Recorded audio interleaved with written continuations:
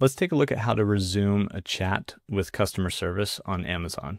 So if you're chatting with customer service, they might have you do some things at times like upload photos, or maybe you get closed out of the app or something and you want to go back to that conversation.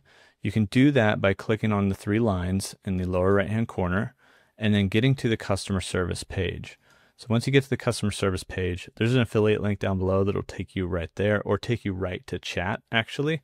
Uh, but once you get to this customer service page, you should see a window right here that says pick up where you left off. Uh, and so the chat will remain open for 24 hours. If you don't see that, you might just click the link in the description that takes you right to chat. And if you need to, you can scroll up to see your chat history. But you can return to this chat uh, by clicking this button here and then that's going to basically ask you if you want to start a new chat or continue the previous one. So if I'm working with an Amazon rep, I probably want to just continue and get back in there and keep talking to them.